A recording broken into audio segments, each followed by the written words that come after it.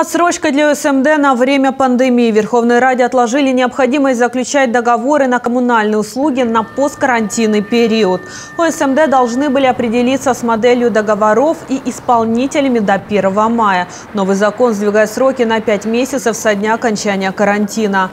Также частично отпадает надобность проводить массовые собрания жильцов дома.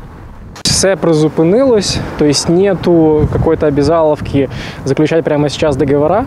Компании коммунальные продолжают оказывать услуги в том формате, которым оказывались до этого. Была проблема с вывозом мусора. Э, Мусоровозящие компании сильно требовали, чтобы мы провели загальные сборы, на которые бы приняли решение о том, что мы с ними работаем, в каком формате, и только после этого они готовы были заключить договора. Отмечу, СМД независимо от выбранной ими формы управления домом обязаны принять решение по каждому виду услуги, кроме поставок электроэнергии и газа, и заключить с исполнителями договоры об их предоставлении. Впрочем, сейчас у совладельцев многоквартирных домов дел не в проворот. Карантинные меры обязывают их проводить регулярную дезинфекцию и санобработку.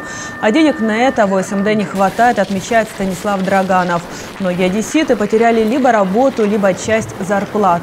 Бюджеты объединения уже лишились порядка 30% платежей.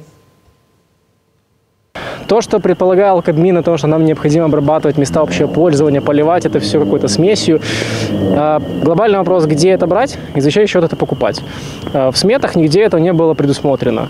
А, Более того, даже если предположить, что мы бы какие-то средства смогли бы выделять, это достаточно дорого, потому что сейчас, э, как видите, на рынке вместо того, чтобы эти цены снижались, они только растут. Некоторыми нашими СНД были приняты попытки как-то согласовать, попытаться с горсоветом, э, в ходе чего было выяснено, что горсовет просто дал вказивку о том, что срочно все поливать, все чистить. А чем чистить, где поливать? За свой счет, пожалуйста, господа, решайте, как вы это будете делать.